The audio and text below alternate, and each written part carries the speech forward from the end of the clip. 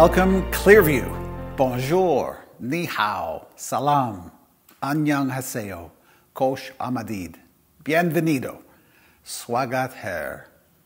I welcome you in the many languages that reflect the beautiful diversity of God's people. So, wherever you are today, we welcome you in the strong name of the living Jesus Christ. What we do in worship is we meet with the living God and we bring all of our lives to God the good, the joyful, and the hard, and the ugly parts of our lives. Here in Canada, we've had a pretty hard week as some very horrific realities came to light, and we want to bring those before God. This morning, we take a moment to grieve with the First Nations of Canada the news that an unidentified grave of 215 children has been found on the grounds of the former Kamloops Indian Residential School. The devastating pain and loss this news triggers is not just isolated to Kamloops, but it is shared by all who have lost family or friends or community members to these Indian residential schools. So many Indigenous children never came home from schools when they were forcibly taken. And the weight of that trauma, that loss, has wrecked Indigenous communities. And the church has shared a large role, and that still causes such intense harm today. And so, as Christians who call Canada our home, we can't look away. We can't say it has nothing to do with us. Our hands weren't on the shovels that dug that mass grave, but our lives here in Canada are built on that history. So we need to learn how to listen and pursue reconciliation with all our strength. But this morning, we begin our worship simply grieving and lamenting. 215 children formed in the Creator's image. And so this morning, we're going to begin our service by marking two minutes and 15 seconds of silence. And I encourage you to use this time to hold before your heart the hard, ugly truth of 215 children dead. Hold before your heart a posture of repentance, asking God to change our hearts so that we care passionately, so that we pursue justice with all that we have. And then after two minutes and 15 seconds, I'll lead you in a prayer.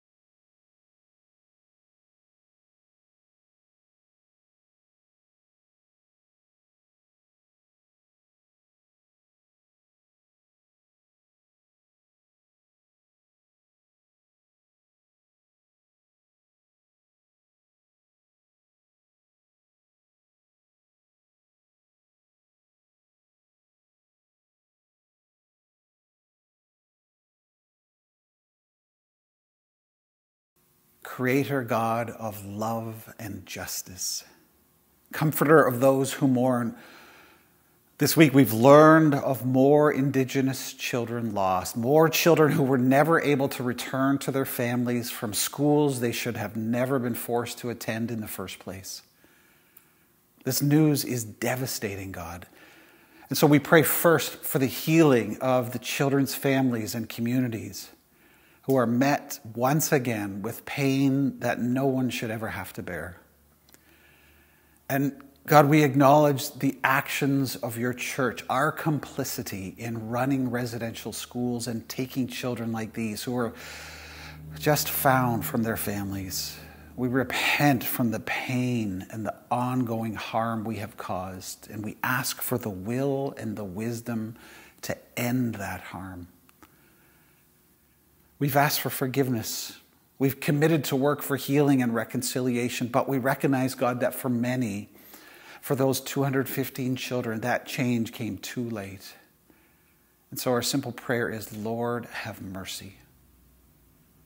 Comforting God, we pray for healing in the communities and families of all who experience residential schools. Comfort for all those who are grieving, and strength for all to pursue reconciliation. In the name of Jesus Christ, our Lord and Savior, we pray and we worship. Amen.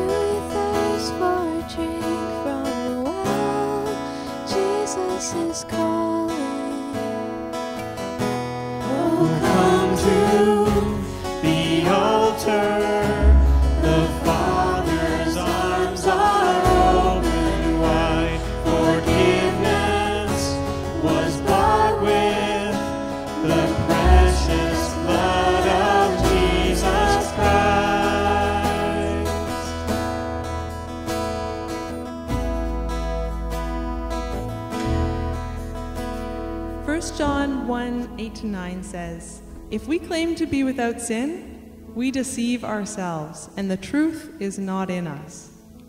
But if we confess our sins, he is faithful and just, and will forgive us our sins and purify us from all unrighteousness.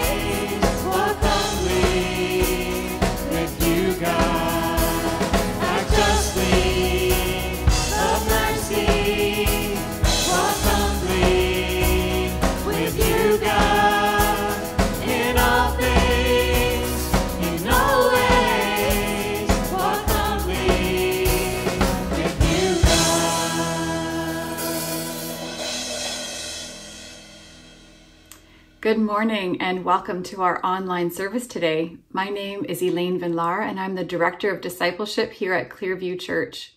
Over the last couple of weeks, we've been introducing Summer Church, and so would like to take a couple of minutes to explain what Summer Church will look like on a week to week basis and invite you to consider joining us and attending this July and August. At the time of filming this, we're waiting with eager anticipation for the Ontario government to give a COVID update and hopefully provide an indication of outdoor gatherings. We're hoping and praying that we'll be allowed to gather in small groups of 25 to 30 people so that as the Church of Clearview, we can once again gather in person, albeit in smaller groups around our cities. Summer Church will have many of the same components as a regular worship service. For example, as people gather outdoors on the grass in a park or in a backyard, there will still be a call to worship. We'll sing a couple of songs together, either with a soundtrack or if you're lucky enough to have a real musician or a singer in your group with a guitar or maybe another instrument. There will be a group prayer time. Everyone, kids, teens, adults, everyone will be encouraged to share their requests, which will then be offered up to the Lord. Scripture reading will follow, and then a facilitated conversation about the sermon.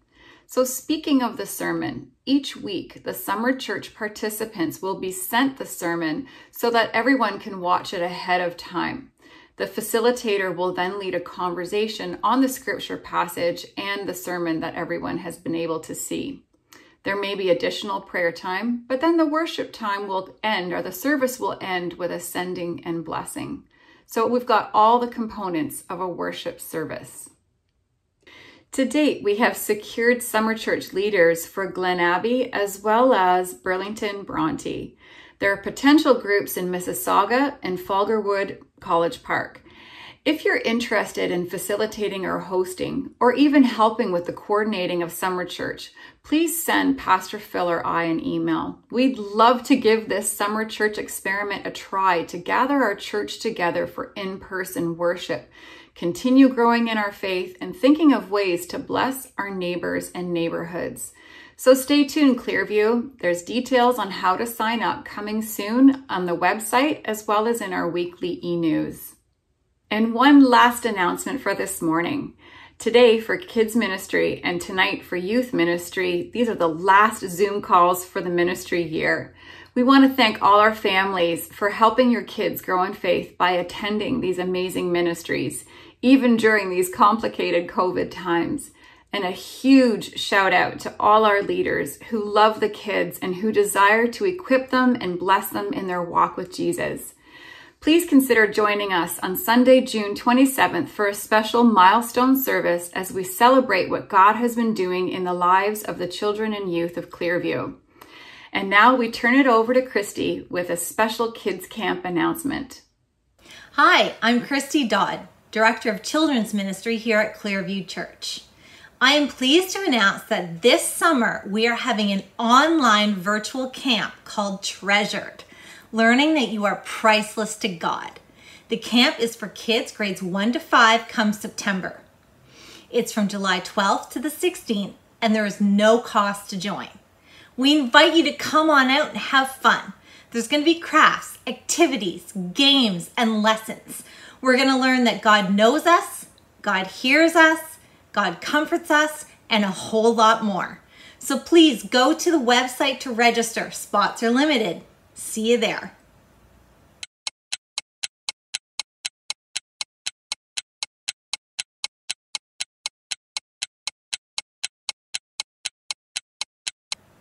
Now, kids, this is a little time just for you. Kids, isn't it nice to have friends? Friends that you can spend time with, maybe go for a bike ride with.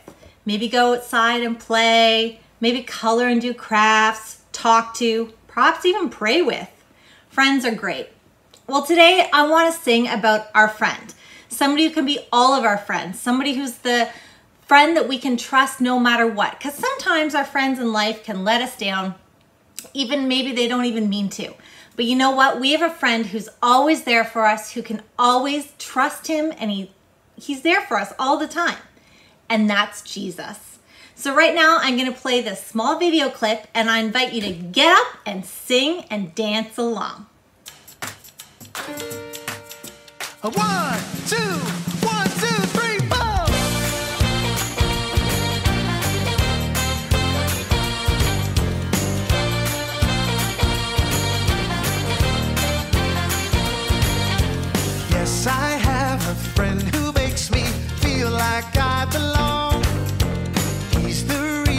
for my smile, the reason for this song. He knows me, he loves me. When I mess up, he forgives me. I love to sing and celebrate and shout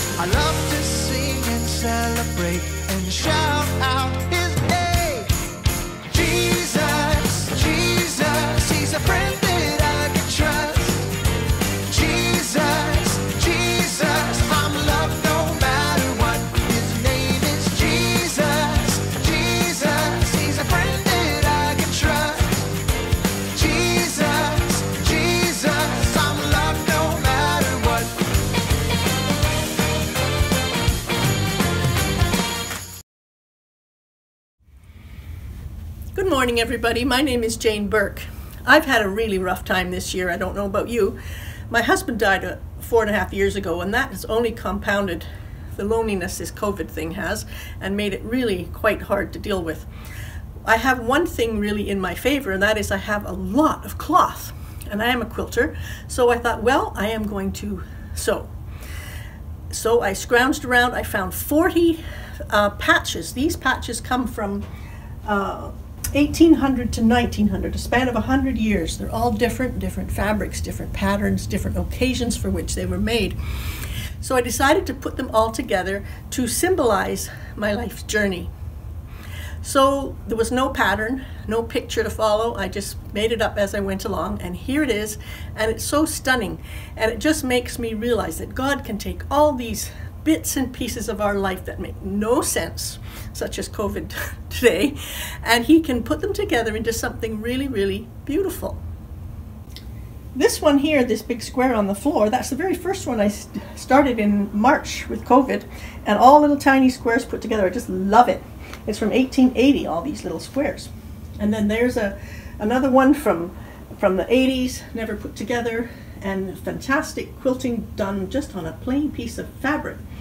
Then there's African themed ones, which uh, Africa is very close to my heart after our trip there some years ago. This is another one I finished. It was not nice and I changed it all around. So God can change us all around too. Here's another one. These squares are from 1870. There's 356 different colors of squares. Something beautiful, something good. All my confusion he understood. All I had to offer him was brokenness and strife, but he made something beautiful of my life. Thank you, Lord, and thank you to all the people who've helped me stay upright during this really tough time. Thank you very much, Jane, for taking the opportunity to share your faith story with us this morning. Good morning. My name is Len Bolster, and I'm one of the pastoral care elders at our church. And this morning, I have the privilege to be able to lead us in a congregational prayer. Let's pray together. Our God and Father, we come before you humbly as your people, thanking you for the new and goodness of the day that you have given us. We thank you for Sundays, and we thank you that Sundays represent a time of worship and rest. Dear God, we come before you as your people, thanking you for who you are. We thank you for being our Father, and we thank you and praise you for your creative goodness and your creative genius. We thank you for the gift of your Son Jesus in our lives, and we thank you that that represents redemption, that that represents newness in our lives. And we pray that you would help us to shine that forth in this world as we live our lives reflecting Jesus. And we thank you so much for the gift and power of your Holy Spirit in our lives. We thank you that that gift allows us the opportunity to believe and gives us power to live our lives for Jesus. Dear God, we live in a world that is just difficult. There is COVID in our world, and after 14, 15 months, it's becoming tiresome. But we pray for perseverance. We pray for healing. We thank you so much for the fact that we have science and engineering to be able to combat this virus. But we pray that as a people of this world, we would be also agents of reconciliation, of mercy, and of redemption, and of betterness and goodness in this world. And we pray that also as we see injustices happening in the past and in the present in our world today. The recent unearthing of graves of indigenous children out west is is shocking. And and we really don't even know what to think. But it represents another sense of injustice and we pray that you would be with us that you would help us that you would help us as a society and as people of your kingdom to recognize injustices and to redeem them. Dear god we thank you that we see new seasons appearing before us we're now in a time between spring and summer, and we see new life all around us. It's a blessing, and it gives us a hint of what we have to look forward to in our eternal life. We thank you for our church. We thank you for our church body, and we thank you for each member within it. It's so difficult because we don't see each other right now, but we still hold together and we want to claim the fact that we are family in Jesus. We thank you for our church and we pray for its leaders. We pray for administrative elders, for pastoral care elders, and for deacons, and we pray that you would be with them and bless them and cause them to be a blessing as they carry out their duties within our church. And we pray the same for our staff. We've got a wonderful complement of staff that lead us, and although virtually now and somewhat in the background it seems, we pray that you would continue to bless them as they lead programs and ministries and as they overall have a leadership role within our church community. Dear God, we've got a number of individuals within our church that need special prayer. We've got seniors that just want to reach out and hug a grandchild. We have seniors who are dealing with some loneliness, and we've got other people, singles, etc., that may be dealing with loneliness as well. Dear God, we pray that you would be with them and that you would bless them, and that in some way, through this COVID restrictions, we would still be able to experience the love for each other and the love that we experience in Jesus. We pray especially also for people within our church congregation who may have specific health needs. We pray that you would be with them, that you would allow for healing to happen in their lives. And we pray that also for people who are experiencing difficulties with mental health issues. This seems to be so much more prevalent in today's world, and we pray that you would be with those people who suffer from these mental disorders of anxiety, depression, and other mental conditions as well. Dear God, we pray that as a church and as church family, we also would be seen as agents of healing in this world today. Dear God, we thank you so much for relationships. We thank you that you have created us as relation beings. And through that, we experience support and love and encouragement. But we thank you so much for the knowledge of the same in our relationship with Jesus Christ. We thank you for the love and encouragement and support that we have through that relationship with Jesus. And now we want to take an opportunity to pray for enlightenment. We pray that as you bring Pastor Phil to us this morning to bring forward your word, we pray that you would enlighten and inspire us, and we pray a special blessing on Pastor Phil. He's going to bring our the word of God to us, and we're going to hear it. But later we will able to use be able to use some of our other senses as well as we use the sight, smell, taste, and touch senses to experience Jesus through the communion uh, ceremony. So, God, we want to thank you for your goodness and love. We pray for your enduring faithfulness in our lives. And we pray that you would help us to be redeeming agents in this world today. We pray all this in the name of Jesus Christ our Savior. Amen. Good morning, Clearview. Today's offering is for the Vergara family, who, as many of you know, answered God's call to serve as missionaries in their home country of Colombia. Clearview, as their home church, continues to support the Vergara family financially, but also spiritually, and Marco and Laura are encouraged by our prayers and messages of support. Marco and Laura are here to give us a personal update on their next steps in following Jesus. Good morning, friends, family, church. Colombia is going through a historic moment right now, and God gave us the opportunity to be here so we can tell you a little bit about what's going on here on this short video.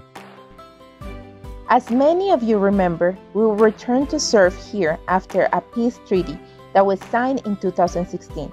Colombia had a long history of violence that left the country exhausted and divided.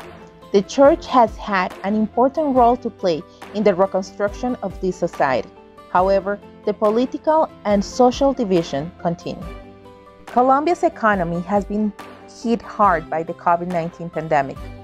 Colombia poverty rate has risen to 42.5%, and this population lived with $150 a month average. The hospital's capacity has been to its max since January 2021. And the education system, just to mention a few of the problems, continue to be a privilege for some, where a regular student that invests a fortune in university struggles to find a job. The drop that filled the cup was a tax reform presented by the Congress last April. It affects the people struggling with a basic income and favors the big companies and financial institutions. People went on the streets to protest everywhere, closing main roads and causing the country to stop. Some of these pacific protests turned into a battlefield as they found police and army responding and using extreme force against the civilians. Knowing the history of our country, this is just like trying to stop a fire with gunpowder. It has been 35 days since the protest began, and so far no truce has been reached nor a range been made to stop the violence.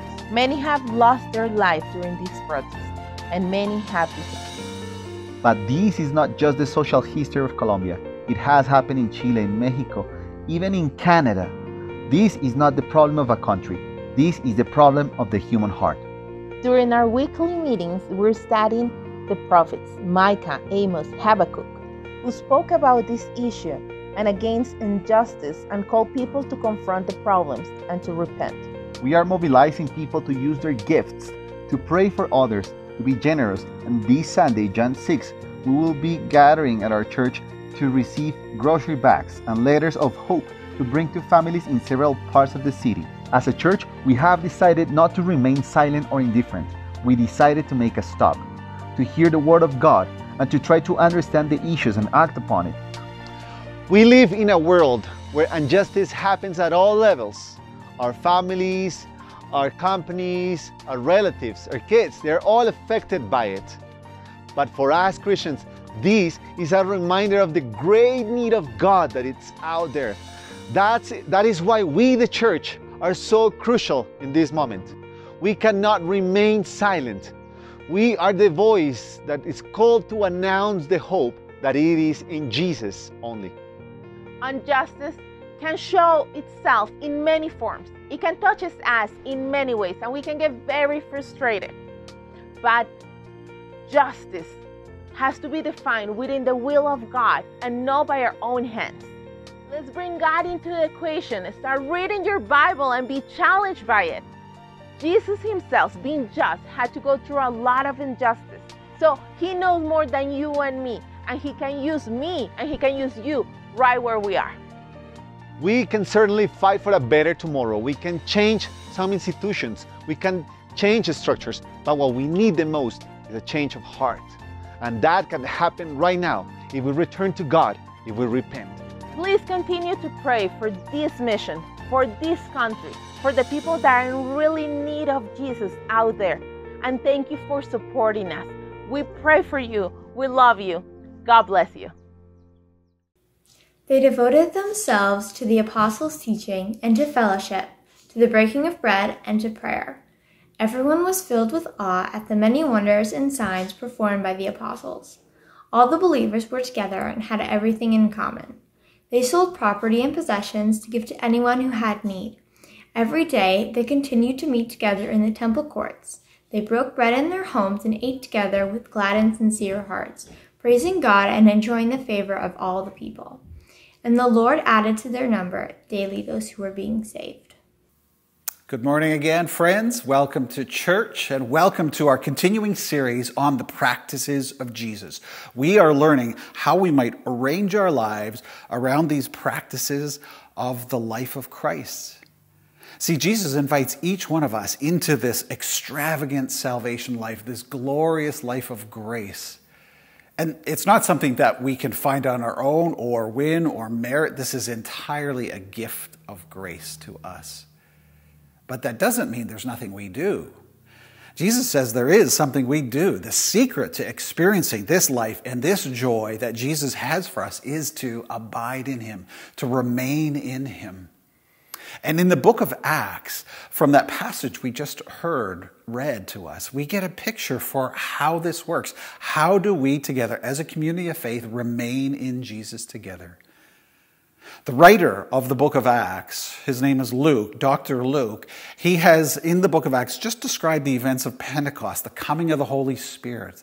And then he's provided for us an explanation on the meaning of Pentecost, what was going on. And he did that through the sermon of Peter. And now Luke gives us little pictures, little vignettes of the effects, the impact of the Holy Spirit in the life of the church. And Luke shows us how the Holy Spirit is creating a community that is devoting itself to practicing the way of Jesus. And I think there's a really interesting and important dynamic here that I don't want us to miss. Luke shows us powerful acts of God, God at work, coming through his Spirit, transforming the disciples into these bold witnesses of Jesus Christ. We see God's Spirit moving among the disciples, inspiring this radical generosity, bringing hope, bringing purpose. There was this awareness, expectation. God is on the move. And so the church enjoyed the favor of all people. We see God using the church, empowering the church to heal, to bless. God grows the church. 3,000 people joined the church in that one day. Every day, God was adding to their, their number. This is what God does. And so Luke outlines those things that only God can do. But he also next outlines things that the church does to participate in the work God is doing. Because it would be mistaken for us to sort of shrug our shoulders and say, oh, look at God do his thing. It's all up to God, isn't it? We don't do anything. Not much for me to do here. Whether I grow, whether we as a church grow, really, that's up to God, not us. No, that's not it. Luke shows us no, there are things only God can do, absolutely. And then there are ways and practices that we are called to participate in what God is doing. There is a way that we can join and participate in God's work that results in our growth, in our becoming like Jesus.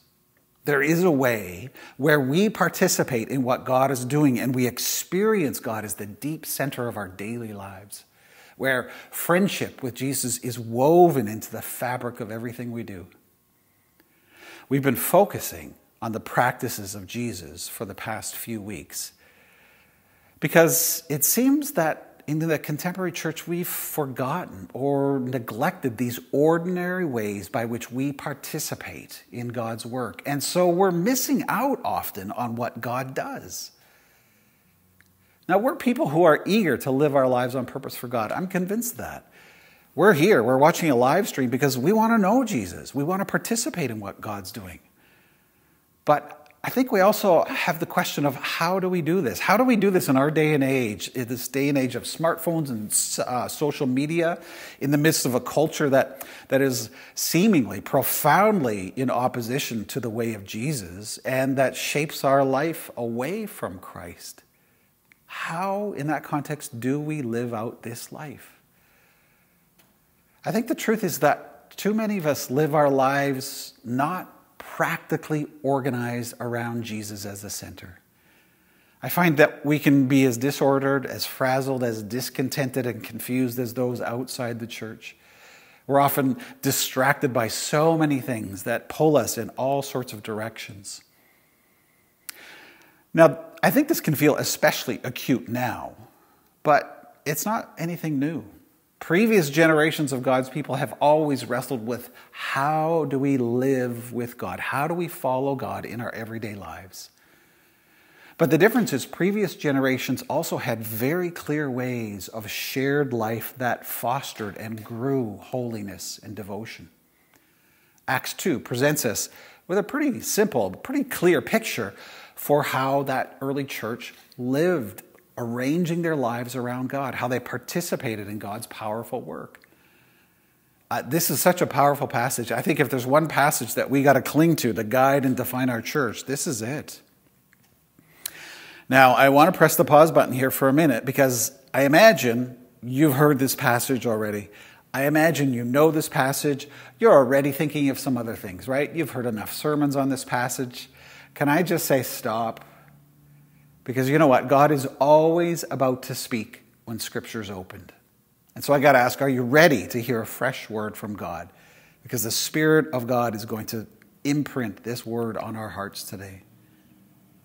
Here in Acts 2, we are witnessing a fascinating reality. The early church is devoting themselves to practicing the way of Jesus in community. The power of Pentecost, think of that. The power of Pentecost now is totally channeled, funneled into, into what? Simple, tangible, communal practices. That is how the Spirit manifests itself. The community devotes themselves to everyday shared faith practices. And this is the picture that Luke shows us of a spirit filled, empowered church through which God does the miraculous. The church throughout the book of Acts is a community knit together in these loyal relationships, this living network of persons who are committed to practicing the way of Jesus in a common life together. So, do you want to see God renew and empower our lives? That's work only God can do. But let us devote ourselves to what we can do. These practices, these ways that we do what is in our power to do, that then allows God to do what only God can do. These practices, faith practices, they are the places of encounter with the living God, with the Spirit of God. And so the church devoted themselves to these. This is the first effect, the first manifestation of the power of the Spirit, this devotion. Take close note here.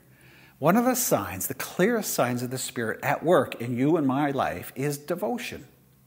Not a fickle sort of faith, but a continuous, persistent tenacity, a, a settled, daily, and devoted practice. These followers of Jesus, they were dedicated, they were faithful, they were consistently arranging their lives around this community, around this way of Jesus. It took their time their money, their priority. It was a committed devotion to the life of Jesus, to the way of Jesus. Another way of saying it is they rearranged their lives, they reorganized their daily lives around the way of Jesus. They had jobs, they had families just like we do, but they intentionally prioritized and reordered their daily life, their daily way of living to place Christ at the center of it. Which makes me wonder how are we doing? Isn't it easy, so easy, to get drawn away from the life of Jesus to so many other ways of living? And so it's a good question for us to ask what are you devoting yourself to? Look at your life. Look at the priorities in your life. What are you ranging your life around? Can I encourage you this week to take time to assess the devotion of your life?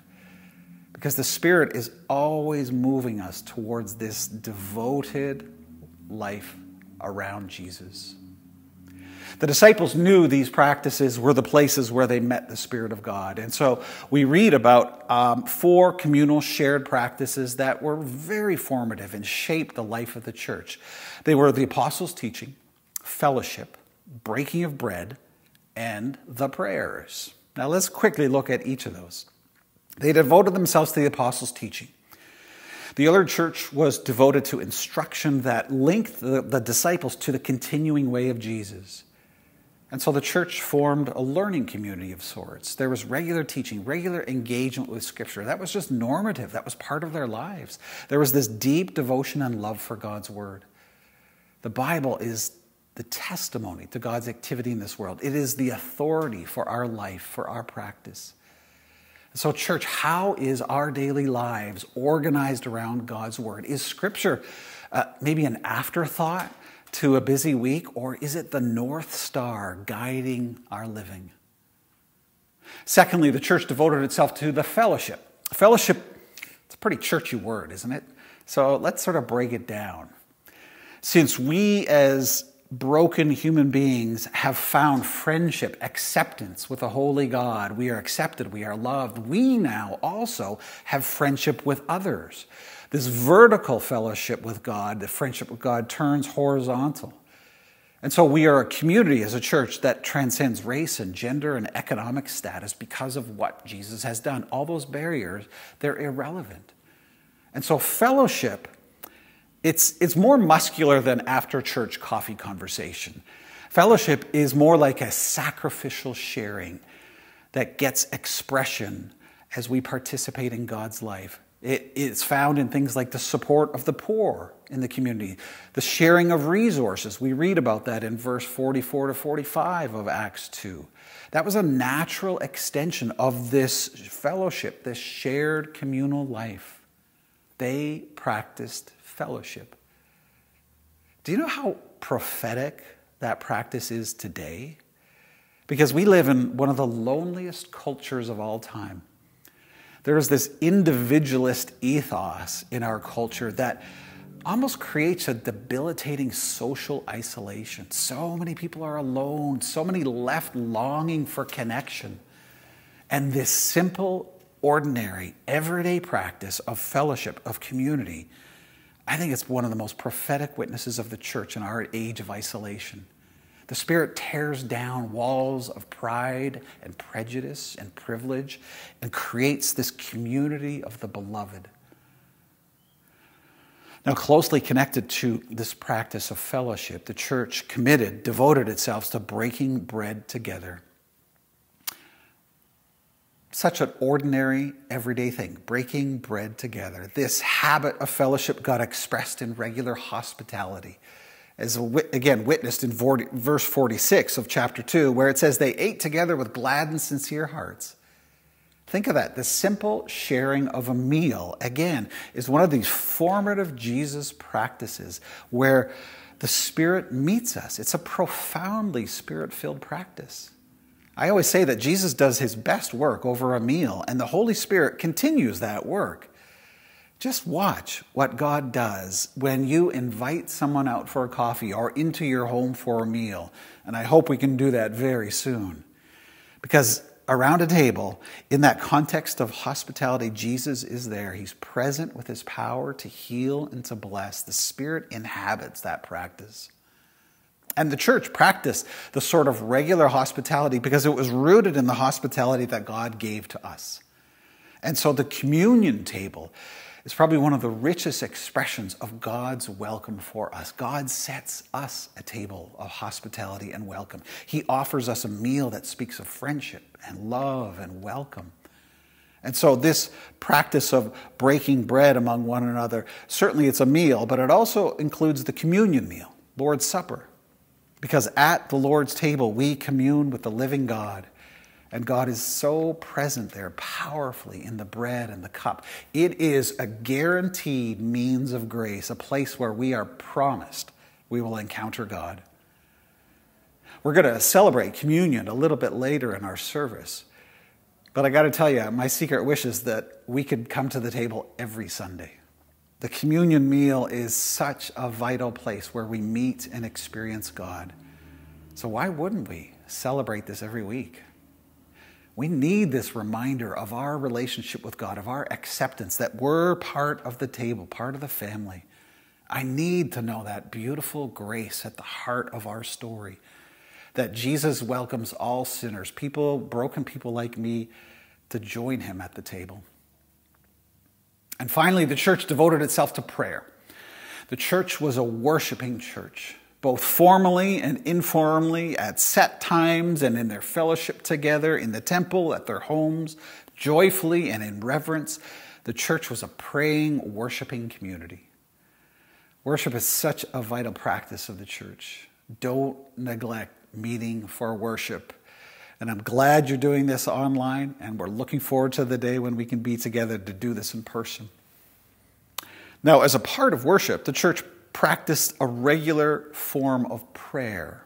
It was an ordered cycle of daily prayers. There were set times throughout the day where Christians, followers of Jesus, would pause their daily activities, they would stop, and they would pray. And so, what they did is they reorganized their time, their schedule around God and around communion with God through prayer. They allowed the practice of prayer to interrupt their daily work, their daily activities, it was a daily practice that reminded them that we don't fit God, we don't squeeze God into our busy days. No, instead, we arrange our days, our schedule around the life of God. And so, in all these practices, what we see is a spirit filled community of practice. They were devoted to the Jesus way of life and they practiced it on a daily basis because these practices were the spirit inhabited means of having Jesus formed in us. And so think of this are you looking to know God? Do you hunger more for an experience of the living God? These practices, they are the places where the Spirit chooses to work. They are the promised places of meeting God and knowing His power. And so we need to renew our understanding of these habits, of these habits and our practices, and, and renew a, a powerful new understanding of their place in our spiritual formation. You know, the majority of our lives, 70% of our lives, studies show, is rooted in habit. One writer, James Clear, observes the habits you follow without thinking determines the choices you make when you are thinking. And so we need the structure of habits to shape our lives with Jesus. And if we miss that connection of habit and our formation, I think we're going to become people who say we believe, but really don't live the way of Jesus in our regular lives. Our lives will be formed by other things than Jesus will become people who profess peace, but who really are shaped and formed in anxiety. We'll profess hope, but we get formed in despair. We are people who might profess love, but get formed by all the conflict, the antagonisms of our day. So, again, we come back to the question how might we live out this way of Jesus again today, in our day and age? And the answer from the ancient church right up to today is to develop a rule of life. That's what we see here in Acts 2. The early church had clearly laid out a rule of life, a structure, a pattern of practice that guided them, that shaped them into this way of life. Acts 2, that passage we read, just shows us the early church's rule of life. Now, what's a rule of life? A rule of life is a planned and patterned form of living that guides us, individuals and communities, in pursuing life with God. I guess you could think of it as a structure for life to grow. I know the word rule, you hear that, and I bet the immediate reaction you have to that is something negative, some negative connotations. It's all about rules. But note, this is a rule of life, it's a singular. And the word rule comes from the Latin word regula, which means trellis. Think of a trellis for a minute. A trellis is used for a plant, a vine, for instance, to grow, or maybe your, your tomato plants in your vegetable garden, for them to grow. They need some structure, some trellis. A plant, naturally, as it grows, it, it will naturally use anything to support its growth. It's almost like the part of the life force, the nature of a growing plant to seek out structure. And a trellis is that sort of support structure that enables a plant to grow and bear fruit. And that same reality works in our life with Jesus. A rule of life supports our friendship with Jesus. We need a structure to help us grow and bear fruit. And so, a rule of life is that structure, and it is composed of intentional, regular, embodied practices that we set out in advance, and they provide a framework upon which God's work of spiritual formation can happen. And the church grows through this. And it's not for, you know, spiritually elite. Maybe you think, oh my goodness, that's for professional Christians, right? No, no. One author, Simon Chan, says living by a rule is what turns someone into a regular Christian. There's a connection between the word regula and regular. Living by a rule is what turns someone into a regular Christian. And the rule itself, that's not what changes us. Rather, a rule simply provides the space, the structure, the support for God to grow his life in us. It helps create that space for us to respond to God, to our neighbor, to ourselves, rather than just react to what happens.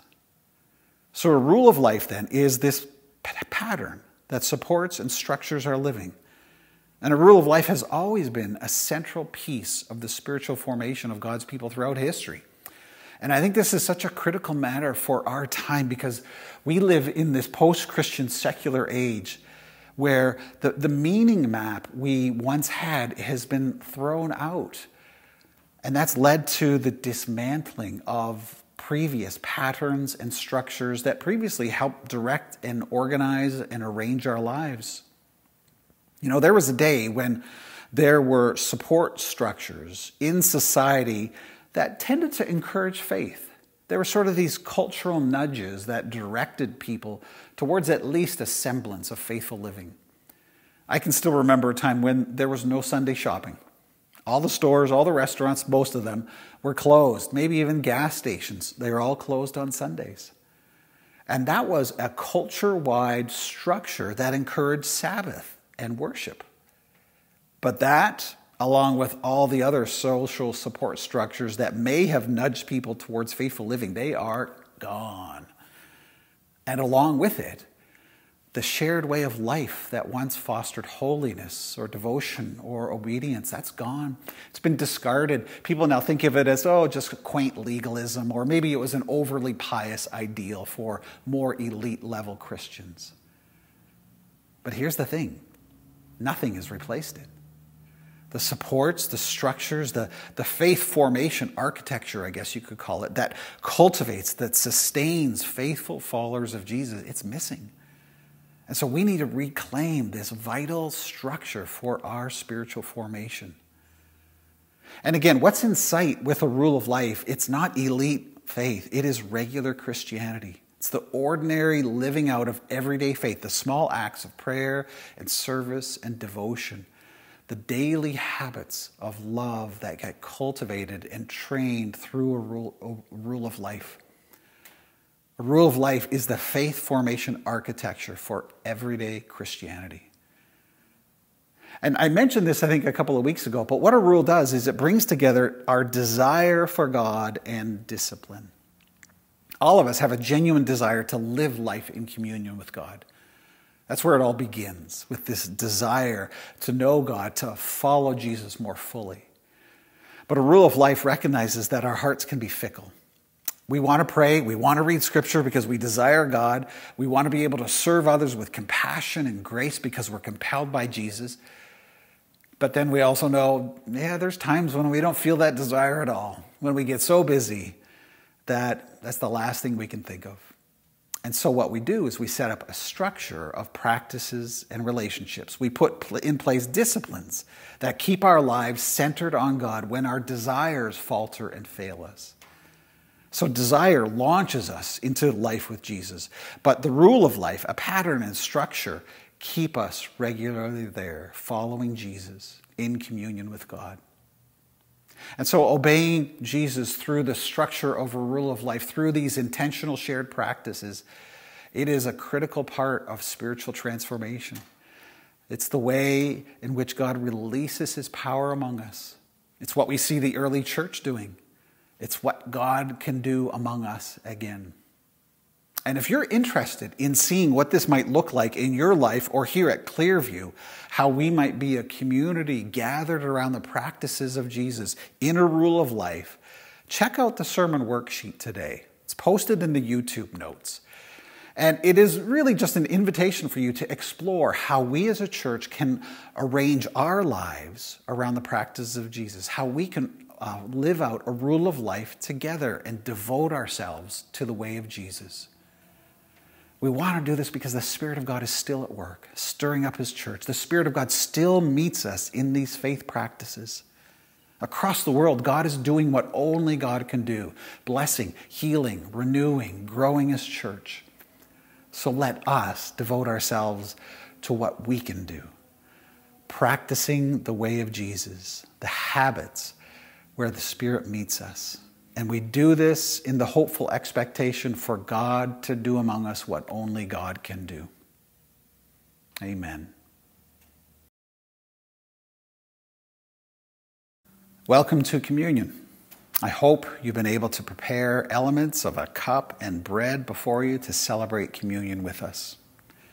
This is the table of our Lord Jesus Christ, friends, and it is made ready for all those who love Jesus and for those who want to love him more.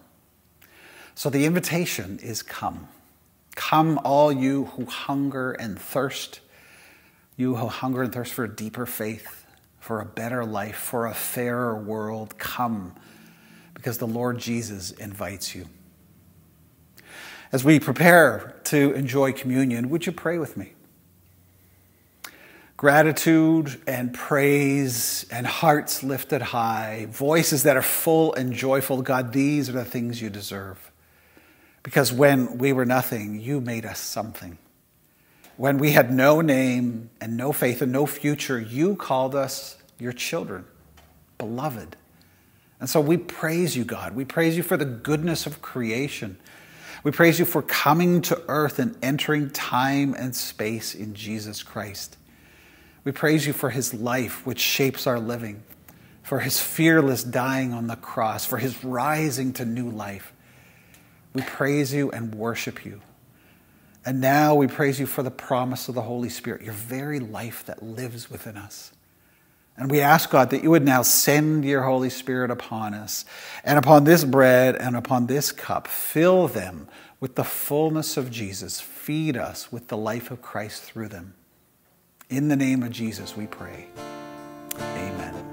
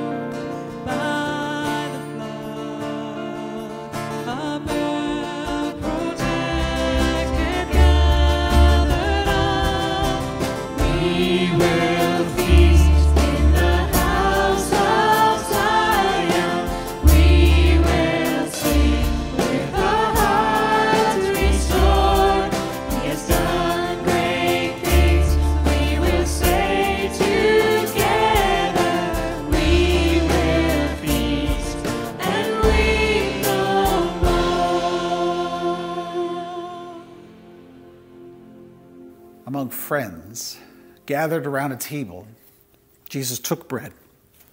He blessed it and he broke it and he said, This is my body, which is given for you. So take, eat, remember, and believe that the body of our Lord Jesus Christ was given for you.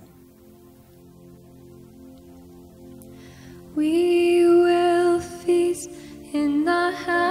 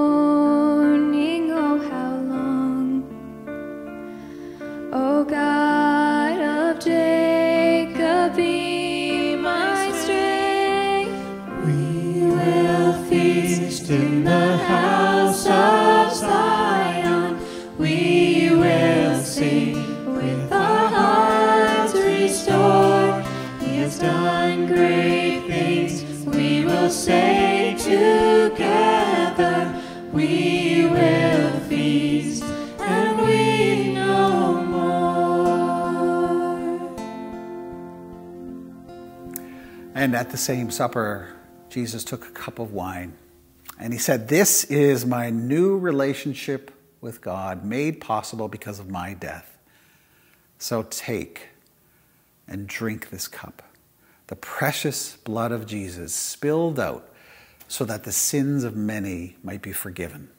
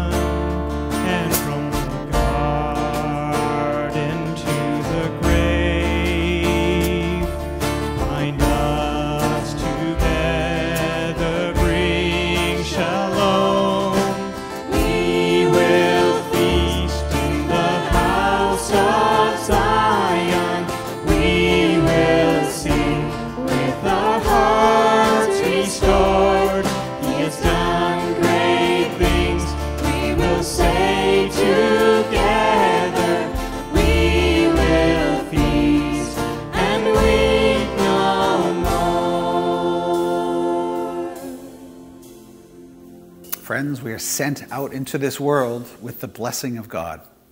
May the Lord bless you and keep you. The Lord make his face to shine upon you and be gracious to you. The Lord turn his face towards you and give you peace. Go in peace and love and serve the Lord. Amen.